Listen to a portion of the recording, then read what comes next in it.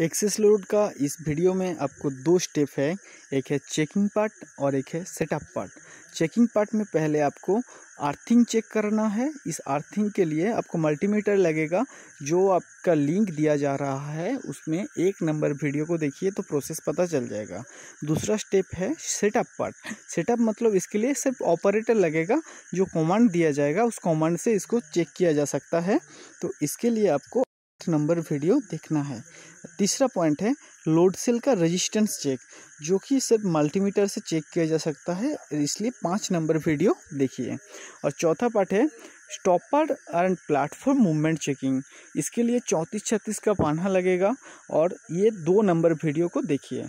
और उसके बाद है open and reconnect the load cell. मतलब आपका जो इंडिकेटर है, उसके पीछे जो लोड सेल का कनेक्टर है, उसको खोल के फिर लगाइए। इस वीडियो को देखने के लिए छः नंबर वीडियो को देखिए।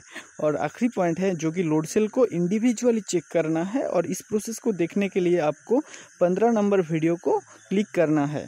इसके लिए लगेगा मल्टीमीटर और स्क्रू ड्राइवर और सब कुछ सही रहे तो सेटअप पार्ट में जाके आपको ये मशीन का कैलिब्रेशन करना है। उसके लिए हाई लोड व्हीकल लगेगा और लो लोड व्हीकल लगेगा, दोनों को किसी और कांटे से कांटा करके उसका स्लिप प्लस गाड़ी दोनों को लगेगा।